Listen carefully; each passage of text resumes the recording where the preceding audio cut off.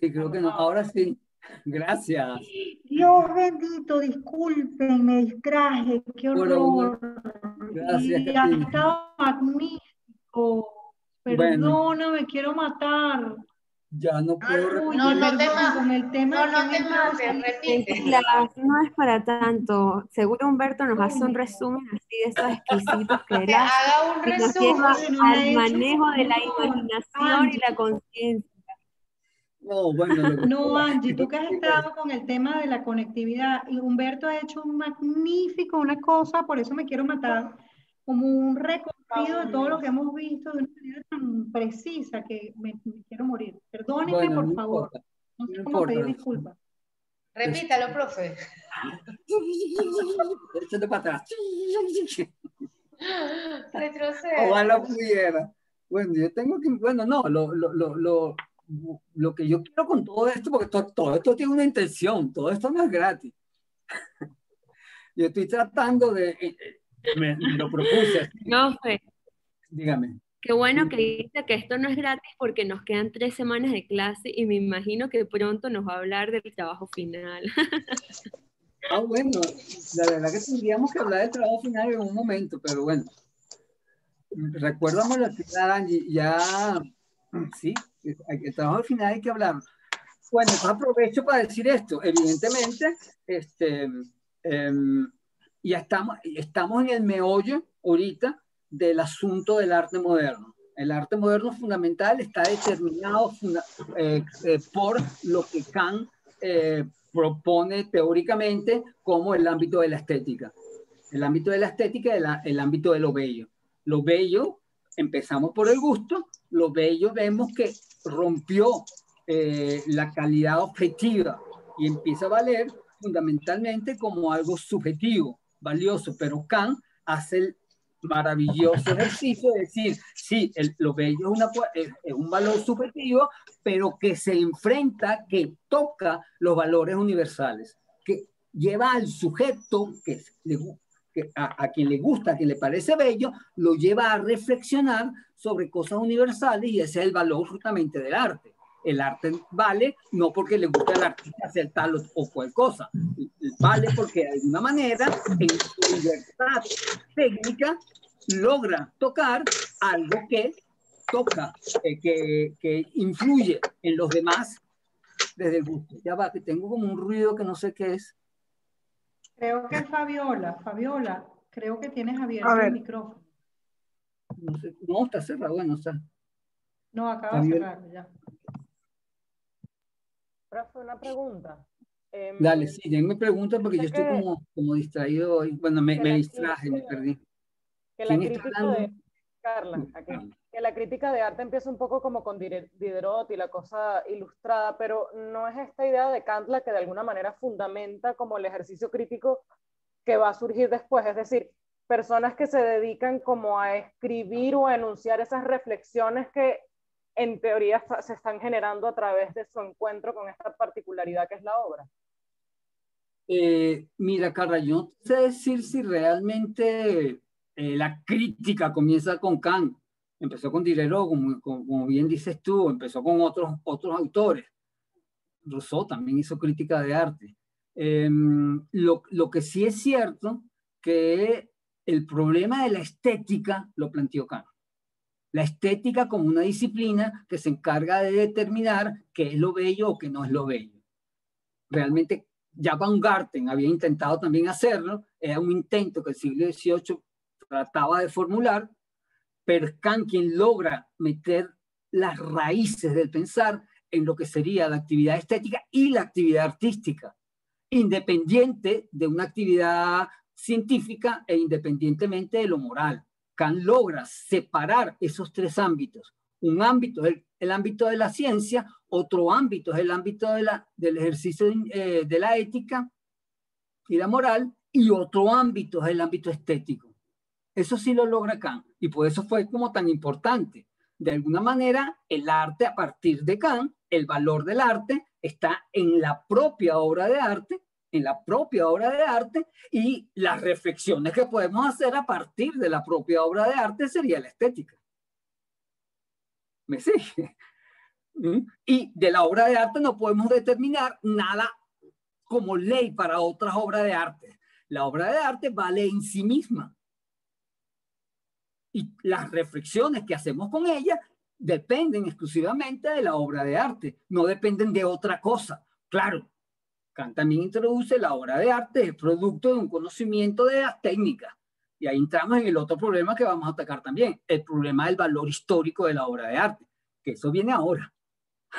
Kant no lo plantea, pero eso viene ahora. Con, esto, con lo que hace Kant, plantea toda la reflexión sobre el arte en la modernidad, que es lo original de la obra de arte como principio de, criterio de valoración, que es lo original de la obra de arte, que la hace algo bello, este tema se abre por el tapete, y qué lugar tiene en la historia del arte esta obra bella. Y así abre la reflexión estética de la modernidad.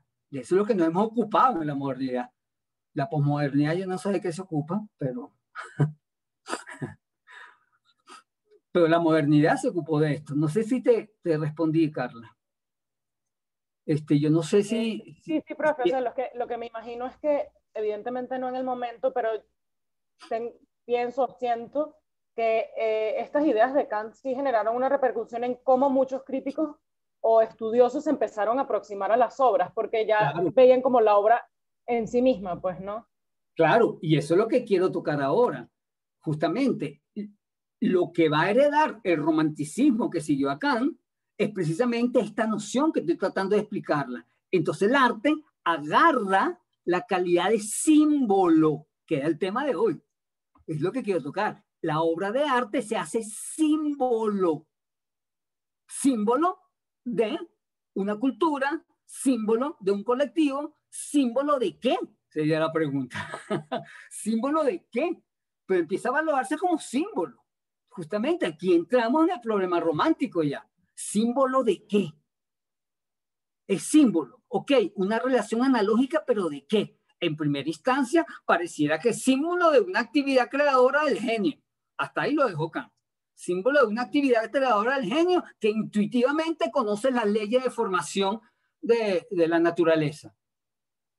Hasta ahí lo dejó Kant, que parecía muy sencillo, pero lo en un sitio bastante límite.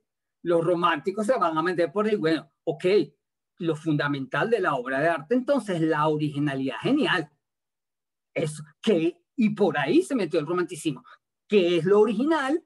¿Qué es cómo se manifiesta la genialidad? Y ese va a ser el tema romántico. ¿Me está siguiendo? Y ese es el tema que quiero tocar hoy, justamente. El valor del símbolo empiezan a tener las culturas, porque evidentemente, y, la duda se, se, plantea, me parece un poco así, este, eh, evidentemente que, que, que yo qué sé, que la cruz es un símbolo en el cristianismo y un símbolo hace muchos años, no solamente a hoy. Mm, el problema a partir de Kant es que se convierte en un símbolo, pero como particularidad novedosa no, no porque recoge este, eh, un, símbolo repetido a lo largo de la historia, sino como una particular, particularidad novedosa aparece el símbolo. Y eso toca ahí algo importante, que es lo que el romanticismo empieza a elaborar, que no es tan fácil de explicar, pero es lo que yo intentaré explicar justamente hoy el valor del símbolo, que empieza a ser como el gran tema de los teóricos románticos. ¿Qué símbolo de qué es el arte en última instancia? Por, supuesto sabemos que la balanza es símbolo de la justicia, que hay símbolos ya convencionales, pero en el caso del arte es símbolo de algo nuevo y original. ¿Qué es un nuevo y original? De que el arte es símbolo. ¿Dónde se coloca el valor simbólico en lo original del arte? ¿Ven esa paradoja extraña que se marca ahí? Me está, me está diciendo que es un trabajo simbólico de la mente humana, analógico de la mente humana, pero también me estás diciendo que es algo original, nuevo. ¿Simbólico de qué, entonces? ¿De qué es símbolo? el arte? ¿Mm? Tremenda pregunta, ¿no? O sea, difícil. Y por ahí se va a meter todo, todo el pensamiento romántico, va a intentar hacerlo. Goethe, por ejemplo, habla del arte bello, es arte creador, y asume que lo que vale del arte cuando es bello, siguiendo Kant, es porque es creador. Lo que, lo que simboliza es la creación, la fuerza creadora del alma humana o del hombre. El arte creador es un arte verdadero en tanto que es una elaboración humana vital e íntegra. Entonces, lleva hasta el final las posturas kantianas. Kant hablaba, el genio es aquel que intuye la fuerza de la naturaleza. Si el arte es creador, es precisamente por eso, dice, dice Goethe, es creador porque toca intuitivamente el genio artista, toca las fuerzas creadoras, no lo dice, eso no lo dice Goethe, eso lo va a decir Schopenhauer, pero bueno, intuitivamente el genio actúa la creación, participa de la creación. De alguna manera, el arte es símbolo de esa participación de la creación. La aspiración artística, decía Goethe, es alcanzar lo eterno, aquello que imposible de alcanzar desde la perspectiva humana y que solo el trabajo creador, el artista genial, logra tocar. El genio toca algo que los demás nos tocan. La iniciativa creadora de la actividad de la naturaleza. ¿Mm? Entonces, extreman la postura kantiana. El genio es alguien que intuitivamente participa de la profunda fuerza de la naturaleza. Schelling, que ese sí, espero que lo hayan leído un poco a Schelling. Schelling escribe ese texto que yo les puse ahí muy joven, y, intenta elaborar este, este, toda una teoría filosófica sobre, sobre, sobre el problema del arte. Y precisamente dice eso, lo que, lo que está en juego, de lo que trata todo, la filosofía, lo que debe tratar la estética, la filosofía kantiana, ha de ser, ha de partir de una noción de lo infinito, de lo absoluto, lo infinito, lo absoluto, la intimidad de todo, lo que está detrás de todo, es la intimidad. Si la obra de arte es símbolo, es un símbolo temporal, parcial, de lo absoluto, de lo infinito. ¿Y qué paradoja esa? La filosofía trabaja con arquetipos, va a decir él, con, con, con sí, con arquetipos que son formas particulares cercanas a las ideas abstractas. Con eso trabaja el arte, con arquetipos, con formas muy cercanas a las ideas más abstractas. ¿Mm? La imagen del Zeus con el rayo, la imagen de la misma imagen del, del hombre sacrificado, son símbolos, símbolos particulares que tocan, que rayan la, inteligencia pura, lo abstracto más abstracto, que es lo infinito. Las formas artísticas entonces manejan de distintas maneras la estrecha relación entre lo particular y lo universal. Y es aquí donde radica el carácter simbólico del arte. El símbolo es un particular algo particular, exacto, preciso, que lo puedo ver, tocar, oler, oír, porque yo pienso mucho en la música, o leer en el caso de la poesía, símbolo de una verdad que escapa a la sola conformación formal. Y en ese sentido, toca lo esencial, como, como lo ideal o lo universal intenta manifestarse en lo particular. que es la verdad de la existencia, que es la única verdad, lo universal haciendo historia. Nos volvemos medio platónicos. El romanticismo para mí es bastante platónico. Bueno, ustedes no, sé si conocen a Platón, pero bueno. Lo universal haciéndose presente, histórico, participando en la temporalidad. Pero lo que está detrás de la obra de arte es lo universal. Que lo universal en abstracto no se entiende.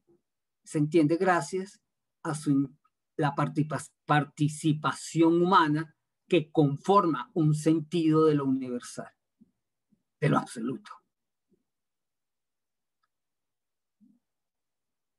Esto es bastante conceptual. Dime, Fabiola, ayúdame. Dime, ¿quién me está hablando? Angie. Angie. Ah, Por aquí, profe. Una pregunta. Entonces vendría a ser lo infinito, en lo, finito. lo universal, lo absoluto, eh, el principio necesario del arte. Claro, pero hacerlo finito, que es la paradoja. Tocar lo universal y hacerlo en una imagen finita. Esa es la paradoja misma de la existencia humana. Somos individuales, somos particulares, somos humanos, cada uno distinto al otro, pero todos venimos de un infinito absoluto, pleno. Somos particulares de lo absoluto pleno. Y el arte igual. El arte igual. esa es la paradoja misma de la existencia, dicen los románticos. Muy general, ¿verdad? Bastante general, pero eso va a tener sus repercusiones fuertes que, que espero explicarles un poco hoy. Pero no podemos escaparnos de ahí. El meollo esencial de la existencia es lo que plantea el arte. Un particular tratando de manifestarse temporalmente cuando es realmente eterno. La imagen de Cristo, Dios hecho hombre, los románticos van a respetar muchísimo esa imagen, el hombre Dios, hombre, el Dios hijo del hombre, Cristo. Pero ahora con conciencia, ya no es una cosa, con conciencia, claro, lo que se está manifestando es la temporalidad del hombre. El hombre está enclavizado en su temporalidad y desde la temporalidad tenemos que asumir la espiritualidad, la verdad de las cosas que es espiritual. ¿Me siguen? Eso quizás se va a ver más claramente en Kierkegaard. Kierkegaard lo plantea de una manera casi fuerte, terrible. Kierkegaard, que es un pensador eh, danés, creo que era Kierkegaard, dice, la experiencia estética, decía Kierkegaard, es un proyecto global de vida, vista como una elección exclusiva y contradictoria. Y aquí vamos. Dice, el hombre, decía Kierkegaard, es espíritu todos sabemos, el hombre es espíritu, decía él, todos sabemos que somos espíritu y que debemos nuestra vida a Dios, pero somos un espíritu atrapado por la materia. Nos enamoramos de la materia, queremos la materia, conformamos sentido gracias a la materia, pero somos espíritu. El alma, el que es cristiano, el alma del cristiano está en entregarse a Dios y entregarse a lo espiritual, pero siempre tratando de atraparse, quedarse en la materia. Tiene esa libertad de escogencia. El artista, los estetas, los seductores, incluso dice Kierkegaard, el vacío de lo espíritu, que lo que crea es angustia, el vacío ante lo que no sé, lo que crea es un vacío existencial de angustia, se satisface cuando nos apegamos a lo material, a la estética. Y de alguna manera el arte, para Kierkegaard, es la más fina manera de participar en la vida pegándonos en la materia y negando la angustia de lo absoluto. Nos apegamos a la materia y hacemos cosas hermosas aludiendo a lo infinito, pero en la forma artística. Ese es el trabajo, también dice Kierkegaard, del seductor. Un hombre seductor, un don Juan seductor, padece esa angustia hasta lo infinito y se apega a la belleza material. Y ese es el estadio estético del hombre, dice Kierkegaard. El primer estadio en el que poco sale. Embellecemos la existencia. En contraposición a la angustia que nos abre la existencia en tantos seres espirituales que somos. Y embellecemos la materia, tratando de tocar aquello, pero embellecemos la materia conformándola en, en, en, en arte, en bello arte. Por ahí se mete Kierkegaard. Yo no la experiencia estética es como experiencia de una forma sensible material, cerrada en sí misma, se revela, en ella se revela la melancolía, la desesperación y en última instancia la angustia destructiva revela, negándola y disfrazándola de gozo sensorial, la angustia existencial original del ser humano.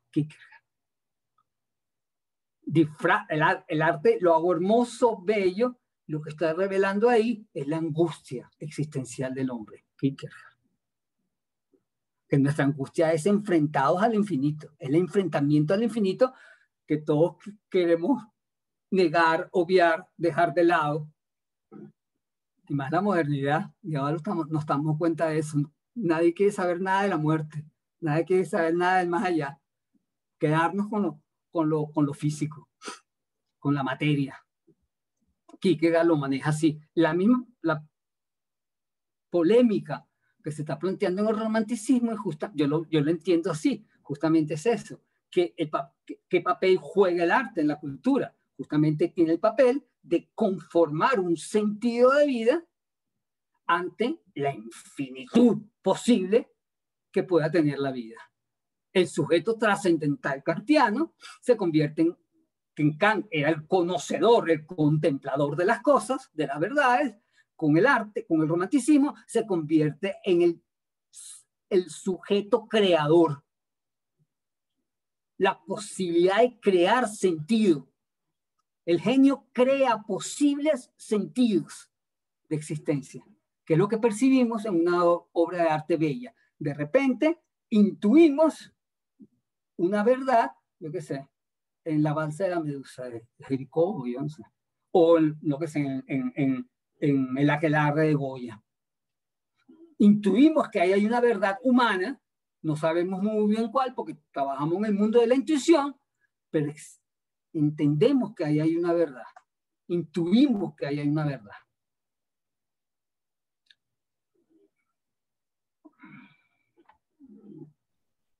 estaríamos con lo que usted comenta recientemente cayendo ya como en la psicología del arte. En la tipología, dijiste. no, profe, en, en, la psicología del arte. Ah, bueno. Todavía, evidentemente, este, ellos no van a quedar en la psicología, ellos están hablando del trabajo, del trabajo del artista. La psicología está naciendo también en esos días. Lo, lo interesante, ya que tú lo tocas, lo voy a introducir más, ya, pero lo voy a hacer más adelante. Lo que sí empiezan a hablar ellos es del valor del inconsciente, de una verdad que está más allá de la conciencia humana. Los románticos ya empiezan a hablar de eso de una verdad que está más allá de la conciencia humana, pero que solamente interiorizando, aventurando dentro de nosotros mismos, podemos acercarnos a esas verdades. Ya, está, ya, se está, ya se está hablando en esos términos. Lo que dice el mismo Goethe, para, o mismo, no sé si es Goethe u otro romántico, Friedrich, para indagar sobre la verdad del arte, lo que hay es que profundizar en la intimidad del artista. Si es psicología, no lo sé. Pero por supuesto que se acerca muchísimo, porque lo que se trata justamente es de indagar en el alma humana y en las fuerzas creadoras del alma humana. ¿De dónde sale? ¿Cómo sale? Y empieza a hablarse, sí, como ya vimos en Schelling, de arquetipos fundacionales que están en el origen de la actividad humana, que son los que, la palabra origen también se va por ahí, que es lo que hacían originalmente las, eh, las primeras colectivos humanos. Intuitivamente creaban sentido y crear sentido que levantó las distintas religiones, las distintas culturas. porque de alguna manera el hombre siempre ha tenido que profundizar en sí mismo, eh, construir intuitivamente un sentido. Y de eso se trata, vivir. Crear intuitivamente un sentido que podamos elaborar y pueda dar explicación a la existencia. Nietzsche va a hablar, el arte en el fondo, más adelante, va a decir, es ilusión de sentido. El arte siempre es ilusión de sentido ilusión de que las cosas tengan ilusión de sentido en tanto hecho por el ser humano. Porque todo sentido, y aquí está lo nuevo, es sentido humano. Incluso Cristo, incluso Dios, es como, como, como dice Octavio Paz, es una, una, una religión atea. A partir de Roma, el arte se convierte en una religión atea. El arte es el espacio de lo divino pero sin conformar una iglesia como sistema de poder. Pero estamos constantemente trabajando en ese lugar del posible sentido, que es el lugar religioso. Los poetas empiezan a ser comparados con los sacerdotes, justamente porque tocan las profundidades del alma humana. No sé si eso es psicología, pero lo que está tocando el romanticismo es justamente la profundidad del alma humana. El arte o toca las profundidades del alma humana o para qué vale toca lo que se va a conocer como el inconsciente, esa verdad tan inmensa, tan grande, tan absoluta, que desde nuestra conciencia particular de cada uno de nosotros no podemos entender. Pero es una conciencia que intuyen los románticos que está ahí. Una conciencia que nuestras conciencias particulares no comprenden, pero a la que alude siempre, a la que entramos en los sueños, por ejemplo, que crean sentido aunque no entendamos racionalmente cuál es ese sentido.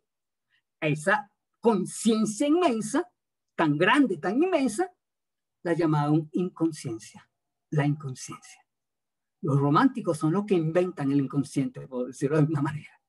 De alguna manera, ahí están en el inconsciente todas las posibles, todos los posibles sentidos que podamos tener de la existencia y todos los posibles, de ahí salieron todas las religiones de todas las culturas.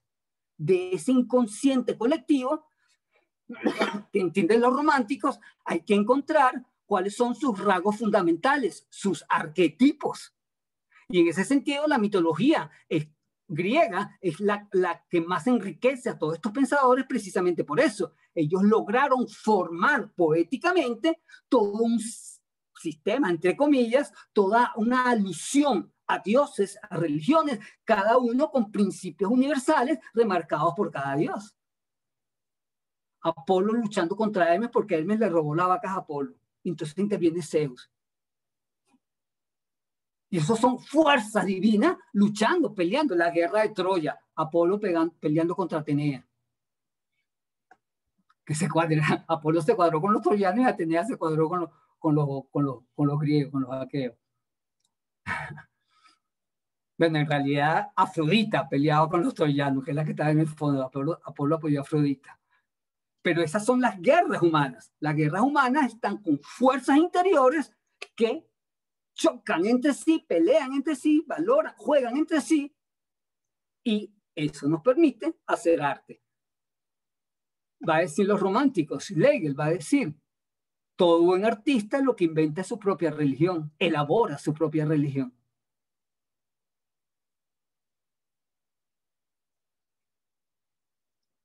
O sea, profe, que el símbolo... Ah, perdón. ¿Dónde estás? ¿Dónde estás? no, perdón, perdón, Carla, adelante.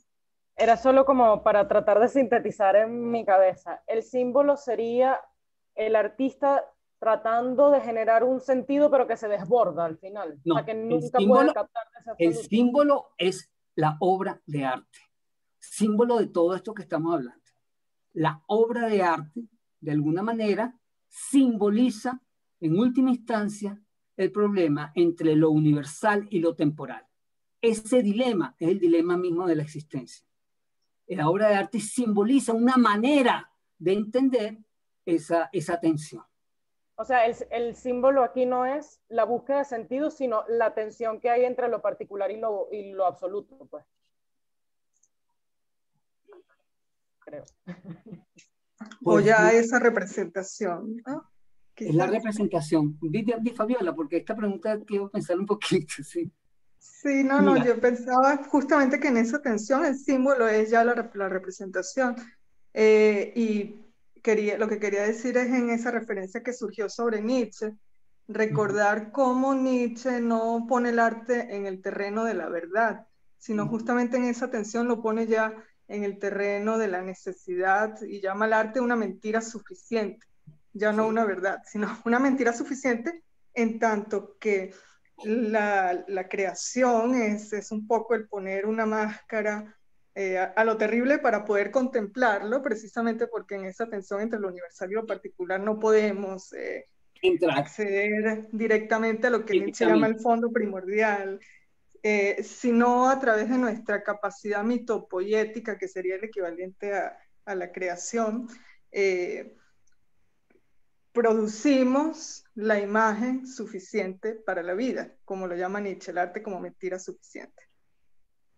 Bueno, sí, gracias por, por, por, la, por, la, por la aclaración. No sé si lo siguieron, pero, pero justamente ahí es donde me quiero meter. Cuando, cuando Nietzsche todo esto, ya ha habido toda una, una movilidad dentro del romanticismo que recoge Nietzsche, evidentemente, con estas posiciones fantásticas. Yo adoro a Nietzsche. Y, y, y estamos justamente ahí. ¿Qué, qué, cua- qué- qué- el, arte es símbolo de qué? El arte es símbolo de, lo de la existencia misma símbolo de la manera en cómo nosotros intentamos hacer sentido y ese sentido es sen- sencillamente una propuesta humana. Lo trascendental último no es, no sé si es posible alcanzarlo, pero apelamos a ello para agarrar sentido de existencia. Eso es quizás lo, grandioso del romanticismo. De alguna manera empiezan a valorar todas la- las costumbres de todas las religiones, pero hay religiones completamente distintas, completamente opuestas, todas tienen el mismo valor. Y ahí comienza el, el jueguito que a Hegel no le va a gustar mucho, digo yo, digo yo. El jueguito entonces, ¿dónde está la verdad? Si la verdad de la obra de arte es tan fluctuante y cambia de acuerdo a la posición de cada artista, ¿dónde hay una verdad exacta? ¿Dónde está la verdad exacta? Y sin embargo, si, si retomamos a Kant, si bien no hay verdad y no hay concepto, hay sin embargo ese carácter abierto que, como mencionaba hace rato, eh, invita a la comunicabilidad. Y entonces justamente en esa búsqueda de la comunicabilidad universal es donde estaría lo activo, lo- el estímulo, eh, el- el- el- que hace la creación de lo común, que es propiamente el ámbito de la vida. ¿no? ¿Qué es lo que hace grande al que arte? resuelve ¿no? la tensión, no, no la resuelve de manera definitiva, pero No la resuelven crea un nunca. punto de convergencia. en Ya va, cualquier caso. Fabiola, pero a mí me parece que no la resuelven nunca. Más bien la abre y la abre y la abre y la abre. Gracias a. Dios. Yo sé que, gracias a Dios, la abre. Esa es la abre, maravilla, abre. precisamente. Pero, pero justamente en ese sentido, el, el, el arte se va a poner a partir del romanticismo y así lo va a leer Hegel, en la- el primer, por menos el primer Hegel, como un camino de intuición individual y particular que no acepta la realidad objetiva y exacta, sino que juega a ver todo con ironía. El caos completamente lleno, viéndolo desde la ironía romántica, que lo llaman ellos. Los románticos van a apelar, a menos lo de Jena, a la ironía. Para poder ser artista, tengo que tener todo, la- las vivencias humanas terribles y horrendas delante de mí y jugar con ellas para poder hacer arte. La única manera de acercarnos a- al arte es indagando en las profundidades del alma, que me puedo volver loco, pero sacando de ahí cosas a elaborar con la técnica artística, con el uso de las palabras, con el manejo de la metáfora, embellecer las profundidades del alma, hacerlas eh, eh, receptibles al resto de la gente, y a partir de esas verdades armamos arte. Ahora, la pregunta que le van a hacer los cientificistas positivistas del momento, ¿y eso para qué diablo sirve? ¿Eso para qué diablo sirve? ¿A quién le interesa? Eso si no resuelve nada. A los comprometidos con la historia, ¿Y para qué el arte entonces? Para distraer la ociosidad de los que no tienen más nada que hacer sino hacer arte. Que todas esas son cosas que todavía vivimos. Porque la solución última, que sería la religión, también está puesta en, prueba. Ellos no niegan la actividad religiosa del, del espíritu, pero sí niegan el poder de la iglesia cristiana al menos. El poder político, social y temporal del, del hombre porque no es absoluto, los poderes ya no son absolutos. Porque lo que vale en el fondo es la construcción del ánimo humano de cultura. Y estamos abiertos a eso. Lo que ha hecho el hombre humano siempre es construir, levantar una cultura para darle sentido a la existencia. Y eso lo hace el arte per se.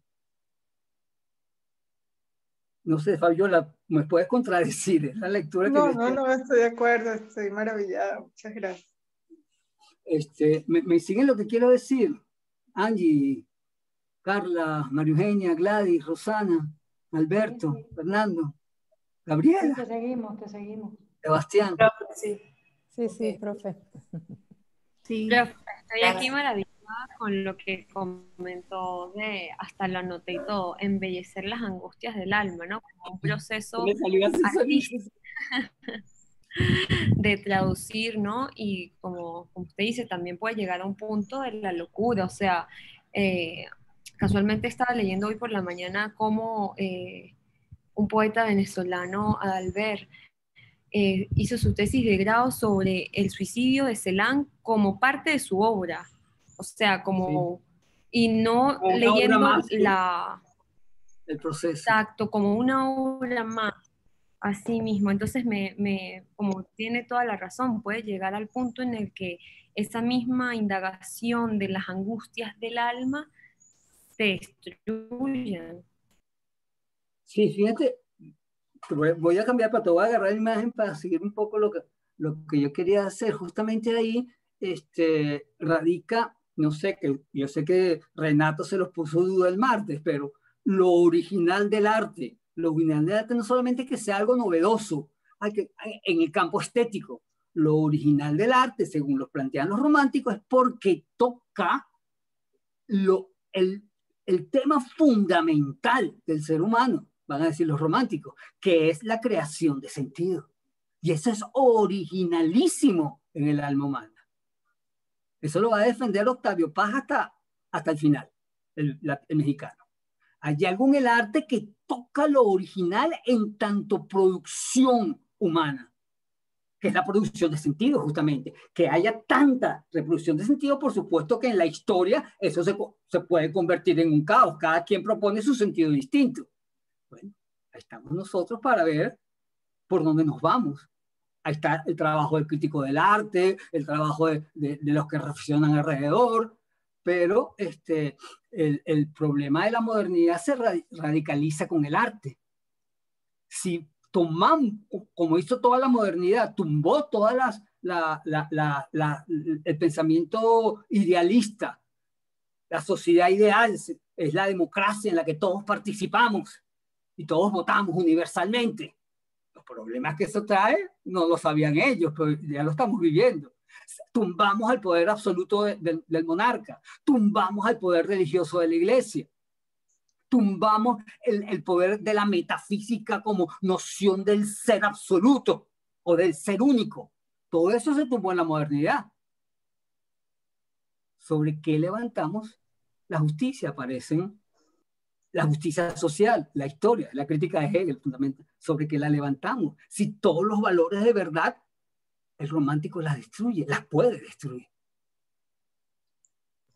Y el contemporáneo lo aplasta. El contemporáneo lo... ya ni, ni, le interesa ese tema. No, no, yo no digo nada del contemporáneo, pero yo creo que al contemporáneo ni le interesa ese tema.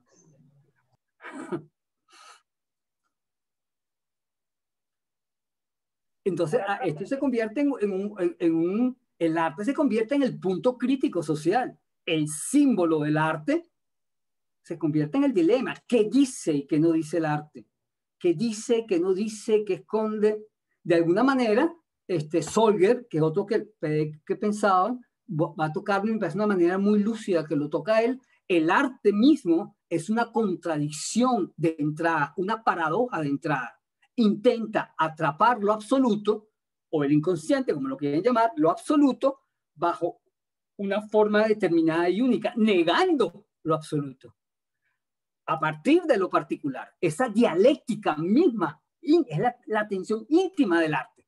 Tocar lo absoluto, lo universal, bajo un particular único y original. Eso ya es una polémica en sí, es la dialéctica misma. Negando su fuente, intenta tocar la fuente. Negando lo absoluto, intenta tocar lo absoluto. en la negación, en esa dialéctica es que se da la existencia humana.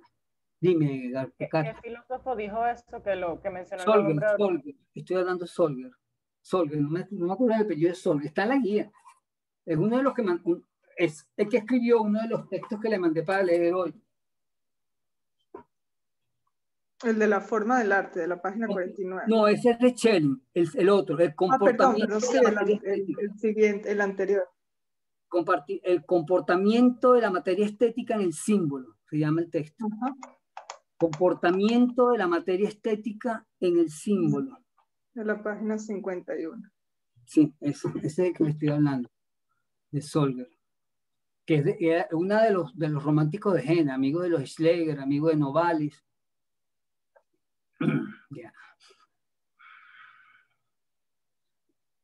y, y, el problema del símbolo, fíjense lo, lo que pasa ahora, o sea, ¿cómo, ¿cómo, recibimos esto? Todos los problemas que conlleva el símbolo, todos los asuntos que conlleva el símbolo visto así.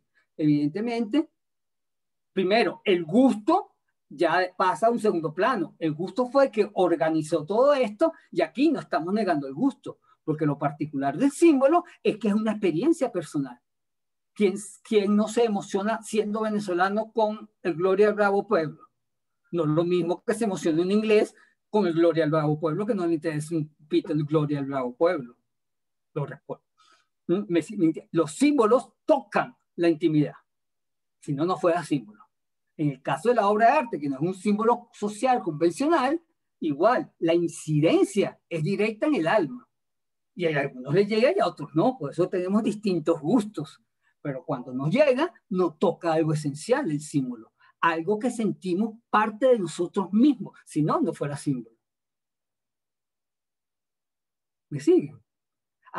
una obra de arte se vuelve en símbolo de una sociedad cuando de alguna manera toca el alma de muchos, de un colectivo, no es que le guste a todo el mundo, pero que la mayoría más o menos le guste. Madonna en mi caso. La vieja Madonna ya no me gusta tanto. El Ávila, que usted utiliza tanto. El Ávila es un tipo para el caraqueño, e-, evidentemente, y a todos nos toca el alma cuando vemos el Ávila. ¿Mm? Claro, el álbum es una cosa natural y yo no quería irme por, por los ejemplos artísticos, para ser mucho más radical. No, bueno, pero cuando, cuando uno va, bueno, lo estoy viendo así, porque uno ve que el Ávila lo han pintado muchos artistas a través del tiempo. Y bueno, ahora se, que, que, hay esta diáspora en cualquier casa, en cualquier parte del mundo, hay un Ávila. Sí, sí, es, es un símbolo, bueno, me pregunto yo, es un símbolo que utiliza el artista, que puede utilizar el artista y que despierte esa sensibilidad venezolana. Eso, te decir, eso, es, eso lo que voy a decir, quizás el Ávila, en las obras sobre el Ávila, es un buen ejemplo para los venezolanos. Claro. Es decir, ¿dónde está lo absoluto ahí? Y los caraqueños en particular. Y los caraqueños.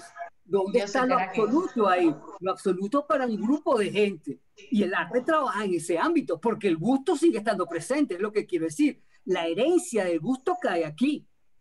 No, no se elimina el gusto, pero sigue estando la relatividad de los valores del arte, de lo bello. La relatividad de lo bello sigue dando vueltas por ahí. El arte toca lo absoluto, pero la relatividad de aprender lo absoluto depende de cada quien depende de la educación de cada quien, de la cultura de cada quien, de la inteligencia de cada quien, de los saberes de cada quien y de la reflexión de cada quien. El gusto sigue estando aquí, es lo que quiero decir. No que hemos roto el gusto, sino en lo moderno. El gusto dio las bases para tocar el valor simbólico del arte. Y el valor simbólico del arte es una experiencia particularísima. Siempre. O por lo menos particular de una cultura, puedo decirlo más abiertamente. ¿Me sigues lo que te quiero decir, Gladys? ¿Ah?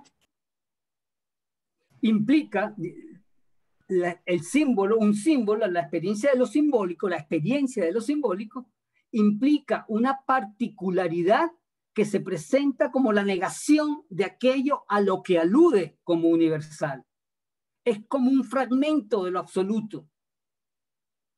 Y leo a Gadamer, este individual, este particular, se representa como un fragmento de ser, en mayúscula, que promete completar en un todo íntegro al que se corresponda con él.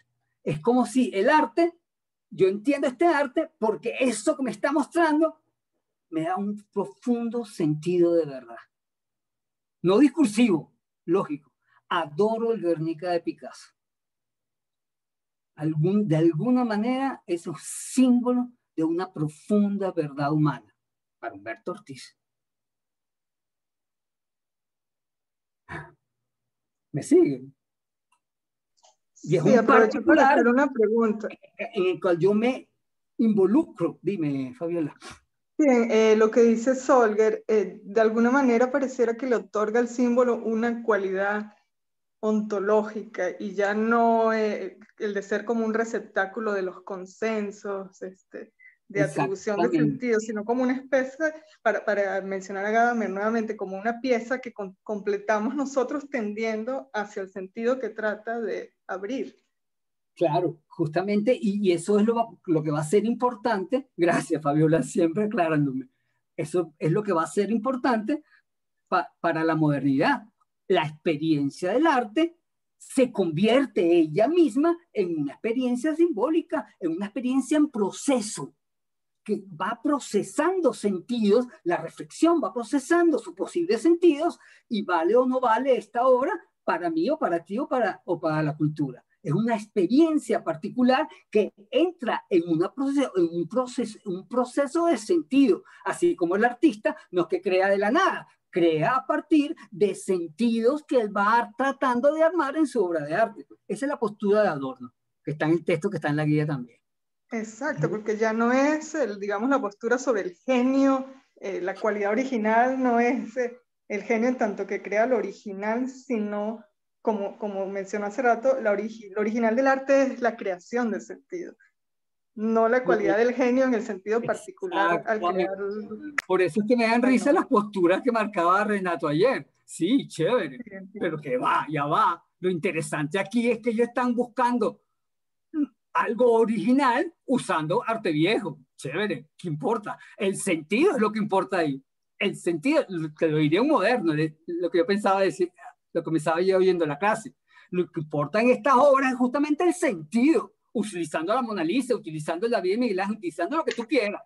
Ya no me voy a poner con lo original de la apariencia, como se puede leer en un primer momento, porque lo original está en otro sitio.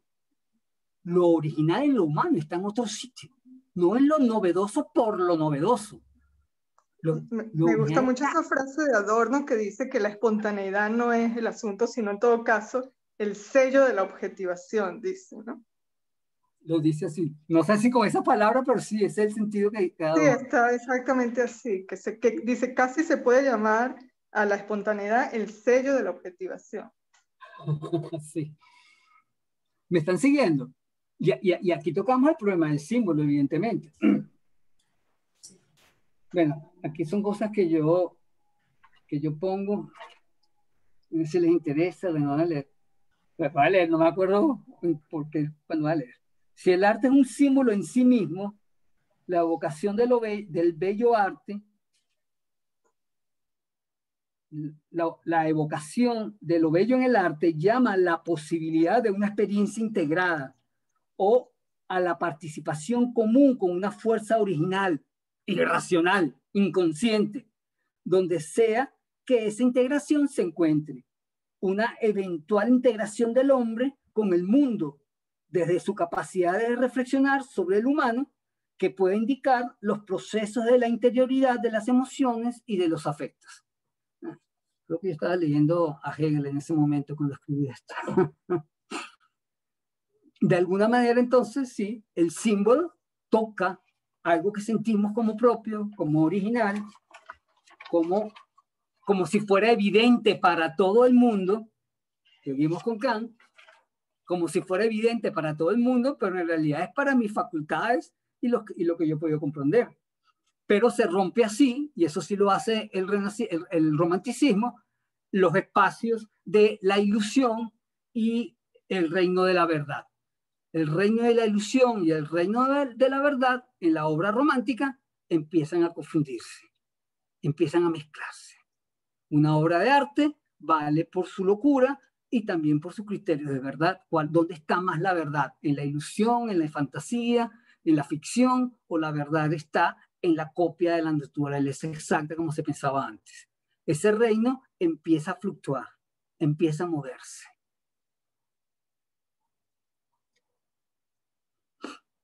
El arte como actividad creadora es, ¿qué es? Se impone entonces como, práctico, como práctica de la liberación de la verdad.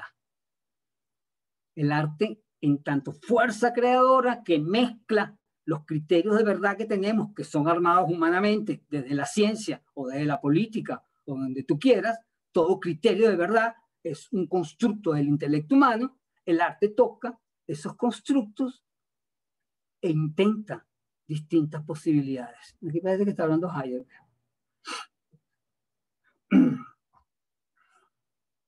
La verdad, que es infinita, se manifiesta en el juego de entregarse a una determinada forma. Y eso sí es, sí es romántico. La belleza del arte es lo infinito entregándose a una forma particular, que en cada artista es distinto, en cada obra es distinta. La belleza implica no solo la construcción formal, sino la fuerza creadora que la hace posible. Lo que vemos en la obra de arte son un impulso del artista para intentar dar sentido a la existencia, a la vida, y muy particular del artista. El arte es función de la verdad, dicen los románticos, la original función de la verdad. Tocamos la verdad cuando hacemos arte, cuando contemplamos arte. Por supuesto, no es una verdad lógica, racional, pensada, es una verdad intuida, indirecta, analógica, si prefieren la, palabra, la palabrita analógica, y si se quiere, para, los para muchos románticos, irónica, analógica e irónica. La única manera de acercarnos al caos, dice Schlegel, con la ironía. Ironía, conciencia clara de la infinidad eterna, del caos completamente lleno. Si no hay ironía, no hay artista. Conciencia clara de la infinidad eterna, del caos completamente lleno. Esa es la ironía del artista, que necesita el artista para hacer arte. Y crear su propia religión. Tremendo trabajo los pobres artistas. Uno que pensaba que jugaba con las formas y ya, que era puro juego formal. Ahora no, ahora el arte moderno se convierte realmente en la gran actividad del artista. El genio es el verdadero sabio ahora. El que toca a profundidad las verdades del mundo y logra ser un universo válido en sí mismo en tanto posibilidad válido en sí mismo, no en tanto verdad, en tanto posibilidad real de existencia. Y eso es lo que vale en una novela. Los Miserables, o yo qué sé, D'Artagnan, que yo prefiero D'Artagnan, que adoro D'Artagnan, Los Tres Mosqueteros. La verdad inscrita en esta obra de arte, puesta, colocada en esta obra de arte, las paradojas de la existencia colocadas ahí, es una unidad en sí misma que vale como sí misma. Y si hay algo en que los románticos consideran que el, arte se parece a la naturaleza, que ya evidentemente no tiene nada que ver con las apariencias, si hay algo en que el arte se parece a la naturaleza, es precisamente que el arte, como la naturaleza, ofrece la sensación de ser una totalidad completa en sí misma, una unidad con todas sus partes, formando una especie de equilibrio entre las sombras y las luces, entre las verdades y las mentiras cotidianas, entre las esperanzas y los desagravios, las desesperanzas, entre los dolores y los placeres. Y en ese sentido, el arte sí es símbolo del mundo, de la existencia, que en sí mismo se, se puede explicar. Los, los, hermanos, los, los hermanos Karamazov de Dostoyevsky, también yo adoro esa novela. ¿Me están siguiendo? Esa es la noción del arte moderno ahora.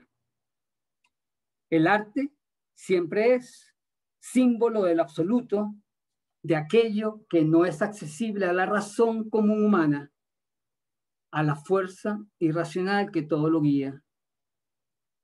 El arte se hace la propia y verdadera actividad del espíritu, por la cual se tiene acceso intuitivo, el único posible, al conocimiento de lo absoluto, es decir, a lo que se explica a sí mismo y a todo. Y en el caso de Kierkegaard vemos que es una manera negativa.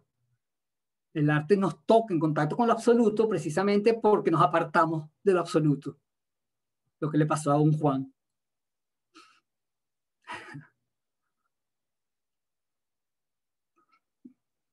Nos enamoramos de la sensibilidad, de lo sensible, de las cosas bellas.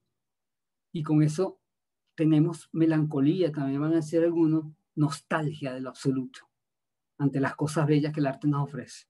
Nos llenamos melancolía de un vigor, como diría Kant antes, reflexivo, pero un sentimiento casi triste a veces, a pesar del vigor reflexivo, un sentimiento melancólico que se queda en la profundidad cuando uno lee poesía, a García, a Lorca, uno lee a García Lorca, uno lee a, Ramos Sucre aquí en Venezuela.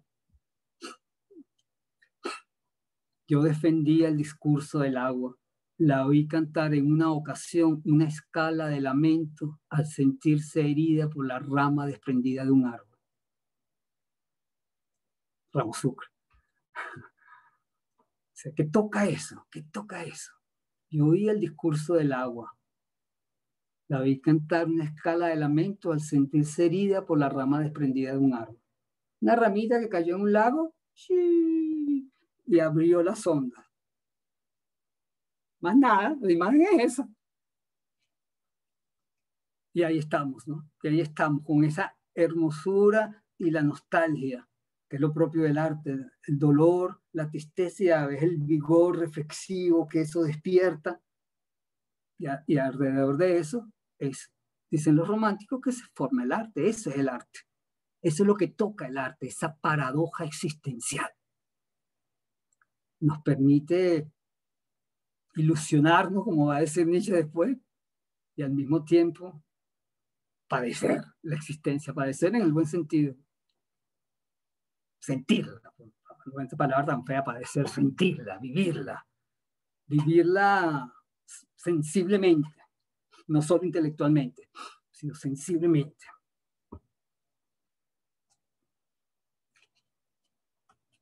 Voy a leer esta vez. La sabiduría ofrecida por lo artístico se trata de un conocimiento en el cual participa no solo el intelecto, sino el ser entero, con sus más oscuras e ignoradas regiones. Dice Novalis, cito a Novalis, en ningún otro lugar sino en nosotros se encuentra la eternidad con sus mundos, el pasado y el porvenir. Novalis. El arte se convierte en una revisión sobre nosotros mismos, en una revisión y una valoración sobre nosotros mismos.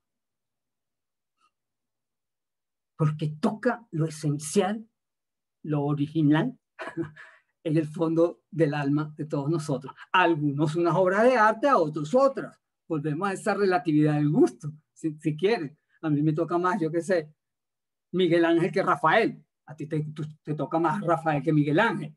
Pero ambos experimentamos más o menos las mismas cosas con los distintos, con los distintos autores. Prefiero a Caravaggio que, que, que, que al Greco. Que el Greco lo respeto, pero yo prefiero a Caravaggio. Yo no sé por qué, pero me pasa. Al Greco lo respeto, por supuesto, y conmigo, pero prefiero a Caravaggio. ¿Qué hago yo? ¿Me siguen lo que les quiero decir? El gusto no ha desaparecido. Ya tocamos lo absoluto, pero sin la pretensión de institucionalizar el valor del absoluto. Claro, la crítica empezó a hablar de la originalidad como el gran valor del arte, ser original, ser original, ser original, ser original, y ya los artistas están hartos de ser original y lo que hacen es fusilarse a otros y ponerlos como original. Vale, me parece muy bien porque la palabra original evidentemente llegó a un momento que harto, uno se quedó harto ya, ya deja de ser tan originales, por favor, déjenme en paz un poquito. Digo yo, claro, si tomas la palabra original en el, en el sentido más, más directo, que no se había hecho antes. Y a mí, ¿qué me importa la palabra original desde ese sitio? Yo prefiero seguir leyendo a Platón, sé por eso. Hace bastante tiempo que escribió Platón. Yo, eso soy yo, Humberto. No sé ni por dónde vamos, hay muchas preguntas. Yo creo que yo no terminé, creo que hablé todo por encima y no hablé nada en concreto. Yo me brinqué todo, todo. Yo tenía aquí relación individuo-comunidad, la ironía romántica, la conciencia infinita de yo. Bueno, eh, eh, un poco todo eso, sí, la ironía va a ser un, un, un tema fundamental en el romanticismo. Yo no sé si yo dejé esa palabra, bueno, no importa. El concepto irónico, yo sé que todos digamos la ironía, ya van a las 12, no sé si introducir lo de la ironía. Déjame leer las notas que hay aquí, que hay bastantes. Porque la mitología sí es el gran ejemplo a seguir. Los románticos están de acuerdo con eso, la mitología es el gran ejemplo a seguir. ¿Cuántos son los dioses griegos? Los dioses que inventan los poetas y siguen y siguen y siguen creciendo, que inventaron los poetas. Pero ¿quién hace una genealogía de los dioses griegos? Se ha intentado hacer muchas veces prácticamente imposible. La mitología griega es una mitología que crece y crece, o creció, creció, yo creo que todavía crece.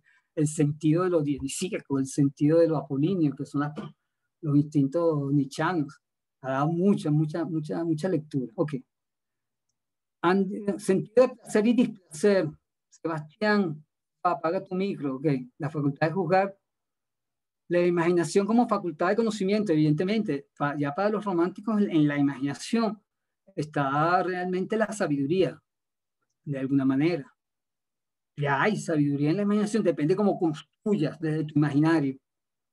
Porque también empiezan como esas locuras que cualquier artista, los, eh, los románticos, los románticos tenían una posición, no sé si tan clara, pero que se entiende, que lo manejan los buenos poetas al menos, este, que evidentemente había que tocar los espacios donde nada está elaborado, que es el espacio de lo inconsciente, y salir de ahí lesos era gracias al trabajo técnico y minucioso de, de la técnica formal del poeta combinar bien las palabras, combinar las palabras, las metáforas, la realización de las metáforas, el juego de los ritmos en poesía. Todo eso es fundamental para precisar mejor esa locura o esas fuerzas eh, terribles que vienen del inconsciente. Entonces el arte nos permite cierto nivel de conciencia gracias a su laboriosidad técnica. Claro, muy pronto se empezó a hablar de la, de la escritura instantánea. también se empezó a probar por ahí muchas cosas. Pero, pero en general le, le, le tienen mucho respeto al trabajo artesanal, por llamarlo de una manera, del arte, que le permitía al artista como de sí, precisar mejor su descubrimientos en los caminos del inconsciente y volverlo, cosa importante según Albert Peggy, volverlo al espacio de la conciencia. Porque el artista puede quedarse en la locura, está tocando y trabajando en la locura.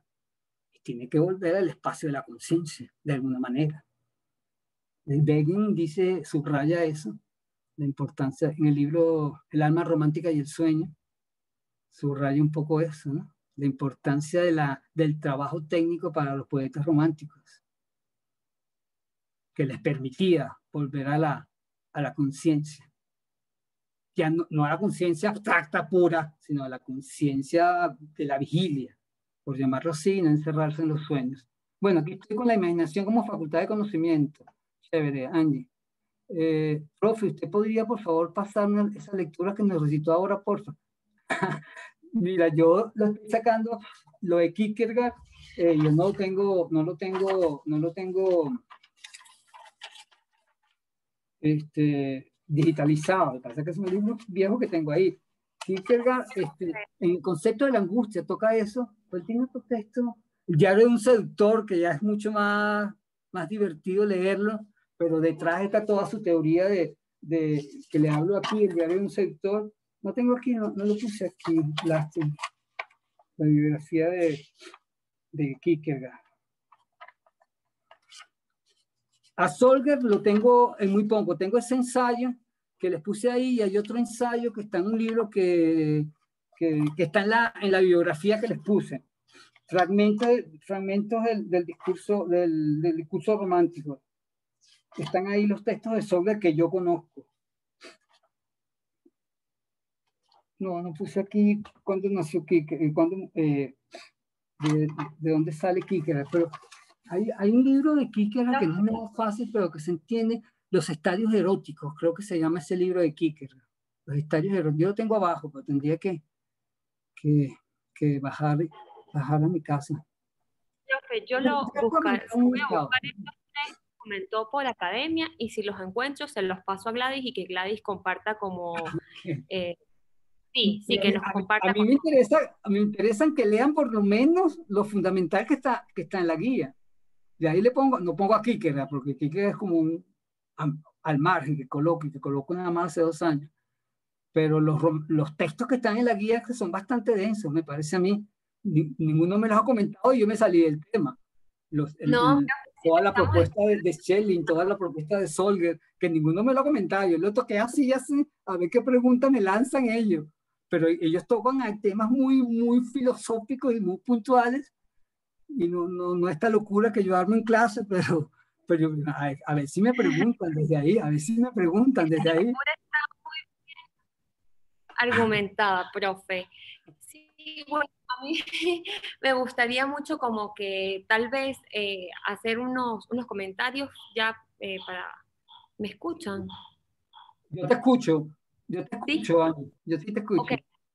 Unos comentarios de lo que usted estaba justamente hablando de los arquetipos y saber, de, yo no, no lo sé pronunciar muy bien, creo que Schelling, eh, volver a lo que usted tocó muy bien hoy sobre lo absoluto, o sea, lo absoluto como uno, pero también como un modo absoluto que se reduce a la idea, ¿no? A mí eso me, me, me, me tocó profundamente, ¿no? Porque eh, pasa lo mismo en el arte, ¿no? O sea, como lo primigenio eh, llega a ser una forma singular, pero a la vez universal, y es lo que hace eh, al arte como esa interpolación, ¿no? Entre lo, el universo, el infinito, el genio y, y todo, para caer en el símbolo, profe, gracias. No, bueno, sí, la noción del absoluto es un término bastante complejo y bastante abstracto, ¿no? Es una noción casi religiosa, pero como la religión ya, ya hay, que, hay que obviarla un poco, eh, eh, eh, aquello, lo absoluto, aquello que se define por sí mismo, para sí mismo y en sí mismo, sería como una definición académica formal, aquello que lo abarca todo y cada una de las partes y ya, que hacen ese todo. Algunos comparan la noción del absoluto romántica con una nueva noción de Dios, del Dios todopoderoso, el cristianismo, el absoluto, que está en todas partes y que pertenece a todo y que participa de todo y está con todo y no está en ninguna en particular, sino en todo. Esa, esa, esa como la difícil noción de absoluto y, y es para los románticos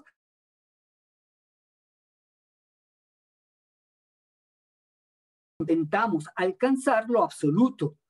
Entonces se habla de las ideas absolutas, como ya las hablaba Platón, de las ideas universales, como el bien, la belleza, la verdad, son ideas absolutas, plenas, la justicia, que son ideas que como decía Kant también, que son ideas que todos valoramos como, como importantísimas, pero ninguno podemos definir exactamente, sino que estamos constantemente redefiniendo y redefiniendo o, como hacen los artistas, agarran esas ideas y las hacen imagen. Le dan una participación en lo sensible. Lo absoluto es ese ámbito de, la comprensión de donde el sentido de las cosas se manifiesta, el sentido absoluto de la vida, que para el ser humano que somos, para lo particular que todos somos, es ambiguo, es lo que tenemos que constantemente pensar. ¿Me sigues, Angie? Estoy tratando de explicarlo lo más plano que puedo. Lo absoluto está referido a eso, que es lo que Schelling habla de lo infinito no puede referirse sino a lo infinito.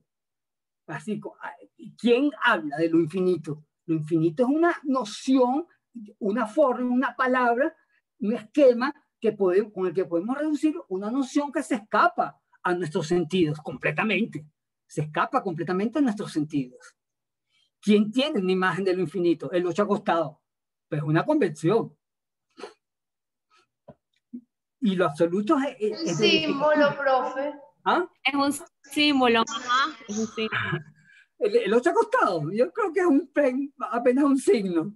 Me parece mucho más listo que, el, el, cuadro de, de Carl Friedrich del hombre viendo las nubes y la montaña. Ese sí me parece infinito. Eso es ahí yo sí veo lo infinito. en un, un, ocho acostado, un ocho acostado, y punto. En cambio, el de Carl, Carl Gaspar Carl Friedrich, es un hombre parado ante unas montañas llenas de nubes y los pelos locos y él de espalda viendo ese infinito ahí que no se acaba nunca. Eso es una imagen del infinito para mí. ¿No te parece, Angie? Digo yo. Bueno, profe, ya lo redujo a signo, pero me, llama mucho la atención, ¿no? que, estamos hablando ahorita de, lo infinito y que también está en las, en las guías como eh, lo absoluto, o sea, el universo. Tengo una pregunta con respecto al infinito y el universo en teoría filosófica. ¿Es lo mismo? Eh, si hablamos de lo universal, sí, prácticamente lo mismo. Mm, es el nuevo Dios. El romanticismo, lo absoluto, es lo universal, lo que abarca todo y a todos como diría un psiquiatra moderno, el inconsciente. Todo participa del inconsciente, todo sale del inconsciente. O lo que llamaban los, presocráticos, el apeirón, de donde sale todo. ¿Qué es el apeirón? De donde sale todo. Siempre hace una noción que está ahí, como el criterio de que venimos de alguna parte, de algún sitio venimos. De algún sitio, de alguna manera hay que nombrar de dónde venimos. Los de Mileto pusieron el apeirón, bellísima, bellísima, bellísima eh, palabra para mí, que para mí es la, la, palabra más poética de la filosofía, de la Peirón, que es el Peirón, de donde todo viene, de donde todo sale, de donde todo brota. Y vamos, estamos tocando más o menos lo mismo. Ahora, claro, el problema de lo absoluto, la noción de lo absoluto, también tienes una pequeña historia. Con Kant tocamos ya la noción del absoluto con el sujeto trascendental, aquel que conoce, ve y puede pensar absolutamente todo, de alguna manera toda la verdad parte de ese sujeto trascendental. Fichte, un poco tiempo después, va a hablar de un yo absoluto, que es una categoría formal del pensamiento, un yo absoluto. Es decir, que el ser humano, la verdad es parte de un yo que es meramente formal, puramente intelectual, un yo absoluto que puede hablar absolutamente de todo, para decir la palabra. Un yo absoluto que todo lo conoce. Y Fichte empieza a marcar la importancia de ese yo absoluto como principio del conocimiento. Lo que antes en, en Descartes era el yo pienso, Fichte lo lleva, que pasa por el sujeto trascendental kantiano, y Fichte lo lleva al yo absoluto como, como categoría filosófica. Y ahí no, hay, otra manera de explicarlo sino desde, los conceptos. Un yo absoluto que todo lo puede estudiar, que todo lo puede ver. Ese yo absoluto, Shelley lo baja, le quita el yo y se queda en lo absoluto. Una especie de totalidad que todo lo abarca. Y al que el hombre quiere tener acceso, busca tener acceso, porque supone que desde ahí parte del sentido de la existencia. Tiene que partir del sentido de la existencia. Entonces el romántico reconoce que se tropieza que el sentido de la existencia lo elabora el ser humano, que lo absoluto es imposible de abarcar y que el ser humano es historia. Es decir, el sentido de la existencia es histórico. No hay un sentido absoluto de la verdad, de la belleza ni de nada. Es la historia lo que marca el sentido. Participamos en la historia. Estamos en la historia. Somos absolutos participando de la historia. Y ahí entra el tema de la historia, que ese es un tema que tenemos que tocar aquí. El arte y el valor histórico del arte. Ante el valor universal. En los románticos está esa polémica. Es un valor absoluto hecho historia. Es decir, que participa de la cultura, que está con la cultura, que depende de la cultura. Hasta dónde depende de la cultura del arte y hasta dónde es libre de, de, lo cultural. En ese tema estamos todavía. En ese tema estamos todavía. Eso es muy contemporáneo igual. ¿Hasta qué punto el arte es un capricho del sujeto o el arte depende de las locuras de una cultura? Ese es un tema. La modernidad lo planteó directamente. Y ese sí creo que puede ser un tema para Hegel la semana que viene. Ese es el tema que quiero yo. Creo que es lo que me toca eso. Déjame buscar mi, mi cronograma. Ah, que no lo tengo aquí, lo tengo en la computadora. No sé qué toca la semana que viene. Sí, toca, profe. Toca justamente eso, ¿verdad? Arte en la historia, historia, de la idea de Hegel. Hegel. Toca, toca pensamiento de Hegel que también le da una noción a todo esto. Él parte de la idea de lo absoluto también Hegel, que de alguna manera lo absoluto implica la libertad del espíritu. Lo absoluto es la libertad misma del espíritu, al que tenemos acceso los hombres en la medida en que nos hacemos más pensantes. Y podemos tocar lo absoluto. Podríamos tocar lo absoluto. El camino de los humanos e ir escalando a partir de la historia, ir escalando peldaños hasta lograr lo absoluto, que sería la libertad plena de lo humano. Hegel, ya me estoy adelantando a Hegel, no, no, quiero entrar en polémica ahorita con Hegel. Y él introduce entonces el, el valor histórico del arte, del símbolo, del arte cristiano, del arte simbólico, del arte clásico. Él va a dar estas tres categorías. El texto de Hegel es complejo, Éntrenle, traten de entrarle. Fabiola, explícaselos todos. es un texto, un texto denso de leer. Dice cosas hermosísimas. De repente hay una frase que yo me quedo como prendido de esa frase. Lo que habla de la música lo adoro. Es un texto fuerte, duro. Creo que más duro que me parece a mí más duro que Can. Hay gente que dice que no, pero a mí sí me parece más duro que Can. Pero bueno, a propósito, me gusta mucho la similitud que hay con la metafísica de la belleza de Platón, que tenía ganas de mencionarlo hace rato. Bueno, se me vino, yo soy más platónico, yo lo que más soy en mi vida es platónico. sí. sí, lo que más soy es eso. Eh, pero bueno,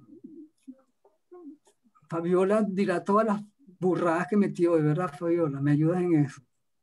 No, todo lo contrario, me da pena interrumpir la clase tanto. No, cuando quieras, a mí me encanta tu comentario, me encanta de manera matices que me, abren la cabeza. Gracias. me gusta mucho, me gusta mucho. Bueno, creo que lo dejamos hasta aquí, Gaby. Gabriela. Sí, bueno, nosotros estamos encantados. Ah, bueno. no sé qué dicen los demás, pero yo estoy fascinada. Sí, podemos seguir otro ratito, claro que sí. Tiempo. yo tengo. a ver, a ver, porque yo ya. Tengo hasta las doce y media. Feliz. No, la clase es hasta las doce, no, no me, sí, no me Mira, Humberto, tengo una imagen dándome vueltas en la cabeza cuando te oigo hablar de lo, de lo absoluto. Es la imagen del cuadro de Malefic del blanco sobre blanco. ¿Mm? Eso es para mí eso es absoluto también. Para mí es una imagen de lo absoluto puro, blanco donde no hay nada y hay que empezar a armar ahí sentido. Para mí es una Claro. imagen absoluto clarísima. ¿Verdad? Sí, sí. Es algo como, bueno, ¿y esto? Entonces uno busca ver si hay unos pequeños matices de blanco, que si la mitad es un poquito más oscura o más blanca, que se jugó con los blancos, uno se pone a, a buscar a buscar. algunas Aunque esa no era, sí. Y quizás esa no era, por supuesto, creo que no, para mí no era la idea de él, sino era mostrar el nada, ¿no? Blanco, un cuadro Sobre blanco blanco, sobre otro blanco. nada. O sea, que, No, sí, no Qué tenía ningún tan- que esa. que asombro. Pero, pero uno Sí. empieza a buscar cositas, y yo por lo menos, uno se queda así mirando por todas partes, Sí, sí, sí. porque uno de toque blanco sobre blanco, tocarla nada no es tan fácil tampoco, Claro. Buscando un sentido, ¿no? buscando un Sí, sentido. Sí. Pero eso es lo que nos toca desde la modernidad, buscar sentido, y es lo que estamos peleando todo el tiempo, buscando sentido. Eso, ya, ya el sentido programado mm, es una cuestión política. Claro. El sentido programado de una existencia es una cuestión política. Eso lo va a decir Hegel, además. Mm, Ya es una cuestión de convenio, no dice política, de un convenio de los hombres para, darle sentido a la existencia. Eso ya es historia, eso ya es política. Lo absoluto. Porque ahora, ¿a quién nos referimos? Si lo absoluto es este blanco sobre blanco, ¿a quién, sobre qué valoramos nuestras opiniones? ¿Sobre qué valoramos nuestras opiniones? Sobre lo que elaboramos nosotros mismos, sobre lo que sea bueno para nuestra propia vida, sobre qué más podemos levantar sentido. Y, es- y esto, lo, esto, lo, esto es la modernidad. La modernidad ya, no, ya somos todos ateos eh, y, no creemos agnósticos. Bueno, hoy en día está, hay como una recuperación de las nuevas religiones, quizás por el agotamiento precisamente de esto, en qué nos hace creer realmente en algo. Soy budista, o me hago Hare Krishna, o me hago santero. Cualquier opción es válida, cualquiera opción es válida. O me hago musulmán. Cualquier opción es válida. ¿Quién me va a negar esa opción a mí? Ya no podemos. Ya no hay una verdad por encima de eso. Bueno, hay las verdades particulares de los grupos. Entonces, pa, explotó un, un, periódico porque puso imágenes de Mahoma. Y lo explotó. Eso no es verdad. No es verdad. Para eso lo es. Y estamos en esa polémica, ¿no? Esa es la polémica de la modernidad, a la que nos llevó la modernidad, el libre pensamiento, que se quedó en libertad pura de sentido. Y, es, y yo, yo creo que de ahí volver para atrás va a ser muy difícil. No creo que ninguna religión se vaya a imponer. La economía se estaba imponiendo, el valor de lo económico y el valor comercial. Ahora con el COVID parece que está jugando, ¿qué hacemos con esto? ¿Cómo mantenemos el valor de lo económico como lo fundamental de la existencia del hombre? ¿Cómo fundamentamos la producción y la plena producción absoluta en estos momentos de, de, de la historia de la humanidad? Es un sitio importantísimo a reflexionar que creo que no, lo estamos parando. Pensamos que curamos, curamos la, la, la, la, enfermedad esta y seguiremos con el mismo proyecto económico y productivo que teníamos. En parte con el gentío que hay en el mundo no, no, no es ninguna mala idea, evidentemente, porque hay mucha gente en el mundo. Mucha gente sin agua, sin comida. No sé, esos son los temas pero ya no podemos aludir a Dios o a los dioses, a la santa economía, llamo yo, es la única que le debemos oraciones hoy en día. Yo le llamo la santa economía. Los templos de las bolsas son para mí como templos medievales donde se va a rezar y a, y a apostar. Te juro. La, la, la nueva, Profe. la religión, dime, ¿quién es? ¿Quién es? Ah, Gladys. Gladys, amarrada a lo que está diciendo eh, ya Fernando. estoy alucinando, vale. Amarrada, ajá, Fernando habla del Islam, ¿verdad? O sea, cuando nosotros decimos no hay Dios, eh, somos agnósticos, pues de este lado del mundo, porque pareciera que del otro lado del mundo están más amarrados a Dios y más radicales y más... Entonces, hay una, hay una parte aquí, otra parte allá, ¿no? Entonces, Claro, pero eso también es. El global, es la, cultura, la cultura occidental, evidentemente. Ahora sí podemos decir, todo lo que estoy haciendo aquí es la historia del pensamiento occidental. Y a eso ha llegado el pensamiento occidental, al nihilismo radical, como lo llama, creo que, que es el mismo Octavio Paz, hay un nihilismo radical ahora de que todo es válido, pero nada es profundamente válido. Profundamente, ¿cómo hacemos de este nihilismo de las sociedades modernas principios religiosos? ¿Cómo los levantamos? Que todos los acepten, que toda una colectividad tan inmensa lo acepte. Se acepta por fe, si soy musulmán, o si soy Hare o si soy budista. digo budista y, y, musulmán, bueno, en, una época conocí mucho Hare ya no, pero los musulmanes y los budistas están ahí por todas partes. O para no decir evangelistas, que también hay muchos por ahí. La cultura... Eh, y está, es un problema evidentemente de la historia moderna, de la historia moderna de Occidente, además, evidentemente. Parece que hubiera un culto a lo, a lo económico, a lo material, de este lado, en, en Occidente. ¿no? Eso es lo que estoy hablando. Ahorita nuestra, nuestra, religión es la economía, la religión en Occidente, que puso en duda el COVID. Justamente el COVID nos pone a, me, me pone a mí, no sé si a todo el mundo. No, mucha, yo pienso que mucha gente debe pensar y realmente necesitaba esto y realmente necesitaba esto. Ya no lo necesito, ya no lo necesito. No lo sé, no lo sé. Eso se supone. Digo yo, como dice usted. Se supone que todo el mundo está pensando eso, yo lo dudo. Yo dudo eso. Lo están pensando dos, tres, cuatro, cinco máximo, los que más escriben yo estoy loco porque vuelva a la vida normal y poder ir a dar mi clase, agarrar un carrito y que me llegue a mi clase. Yo estoy loco por eso. claro, eso sí. O sea, no sé, entonces yo, yo, ya no tengo, ya no, ya no puedo tener, entender la, la, la, eh, la, la, la modernidad de los valores absolutos. Yo creo que eso sí es importante como, como reconocerlo al menos. Valores absolutos no hay, no hay ya. Y eso nos ha costado mucho, eso nos ha costado guerras a Occidente, le ha costado guerras a Occidente y guerras contra Oriente, que ellos sí tienen sus, sus criterios y sus valores universales, Occidente no los tiene. Y eso es así, para bien o para mal. Y yo no creo que Occidente vaya a hacerse todo musulmán o todo, todo budista o todo lo que sea, como la China no lo es, y tienen el budismo ahí al lado. ¿Me sigue lo que quiero decir? La modernidad es esto, es esta crisis de Occidente, es una crisis de la modernidad.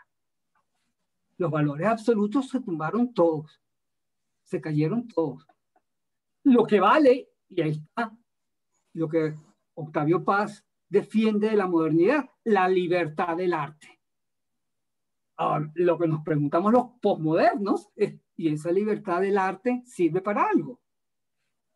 Pero el arte sí se quiso mantener como libre de, de cualquier pretensión político, social, histórica, religiosa. El arte se mueve por un camino que le es propio al arte. Y ahí se agarraron los modernos, de ahí se agarraron los modernos a seguir ese camino que lo va a defender Baudelaire, ese camino de la mercancía pura en el sistema económico, una mercancía que no vale sino por lo que ella misma es, ese objeto puro en sí mismo. Y el valor del arte está en ser objetos verdaderos y únicos. Eso es moderno. Precisamente para librarse del intercambio comercial, Baudelaire la llamó la mercancía pura, que no vale porque se pueda cambiar por otra cosa o que me sirva para comer mejor o para eh, eh, vivir mejor. Hoy en día coleccionarte implica tener más dinero también, ¿verdad? Bueno, esa es la, la posteridad que trajo esto.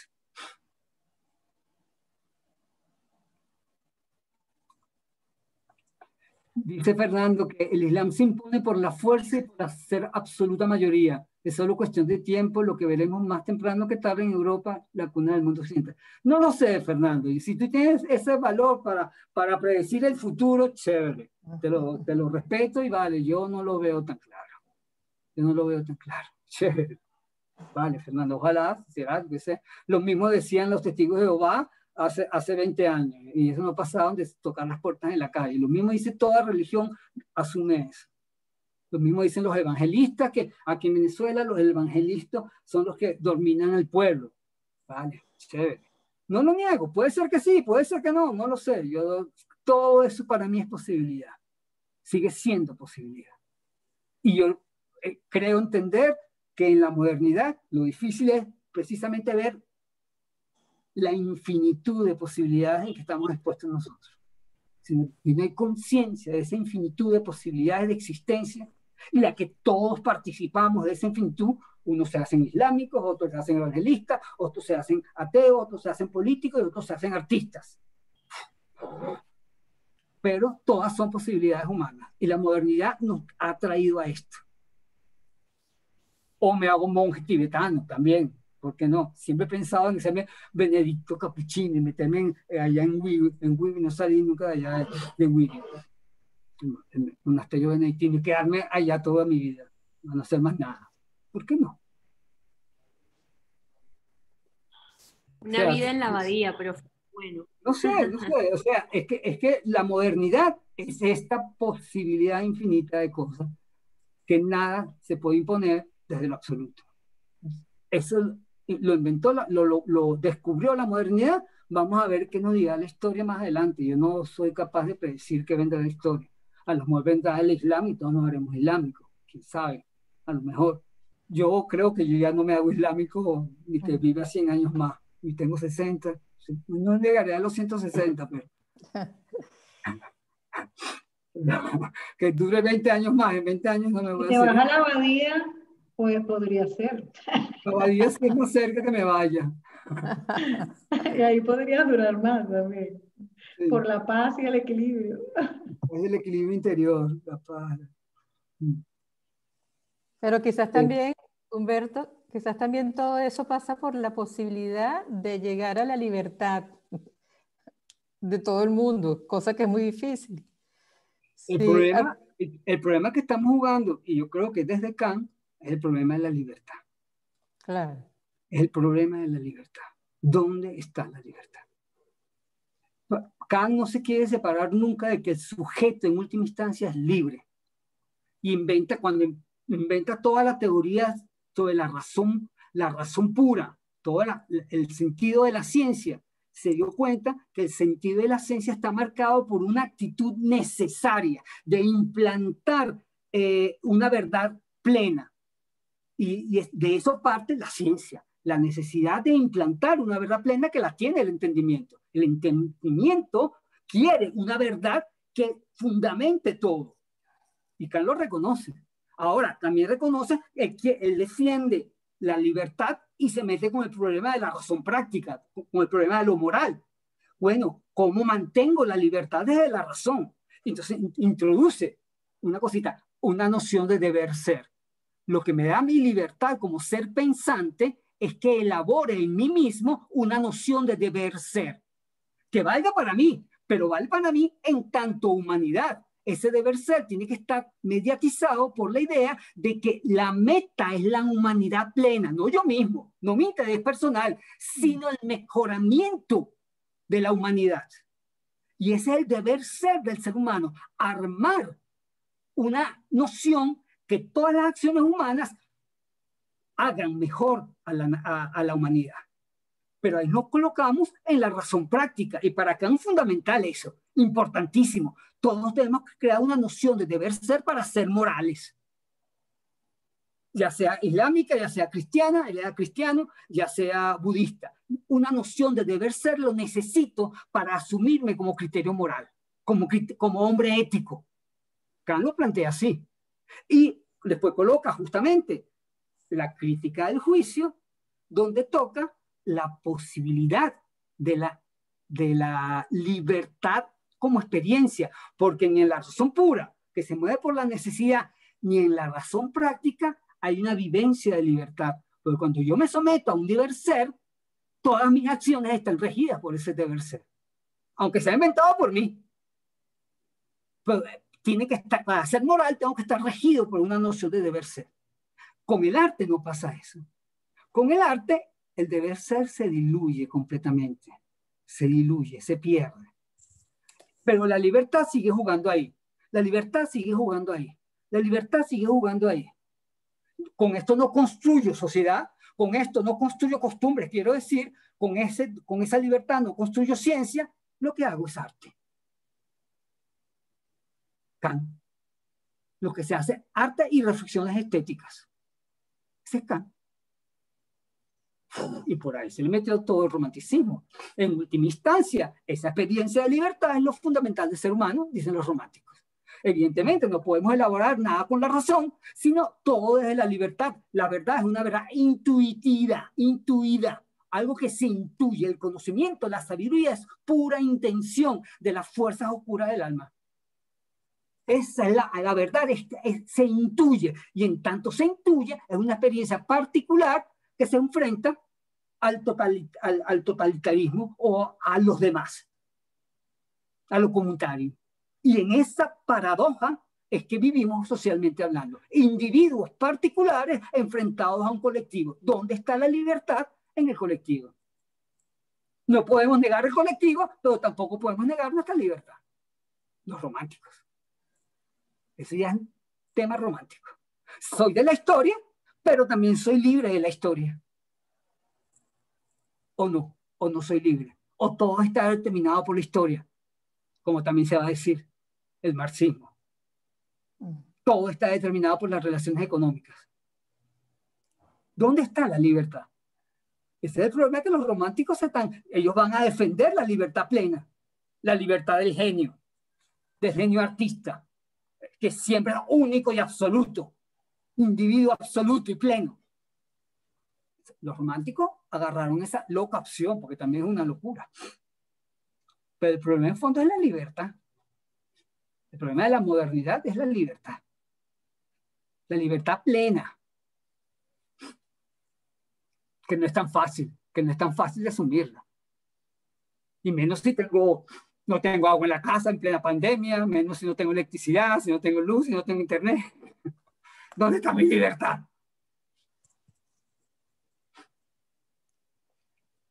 Si no tengo carro para moverme.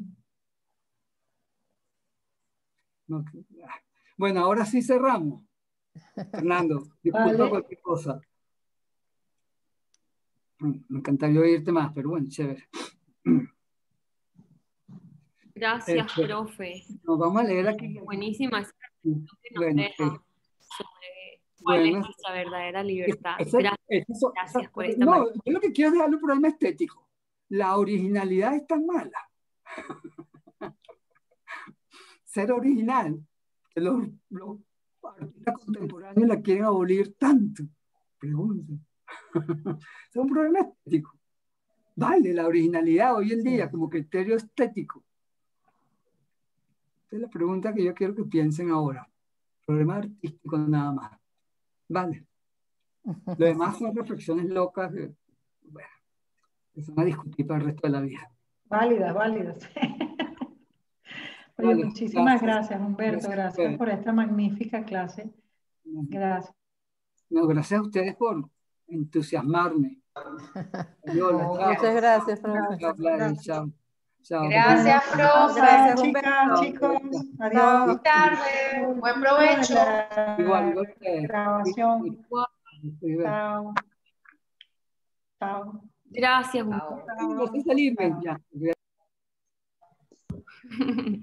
Chao, chicos. Disculpen lo de la grabación. Bye bye.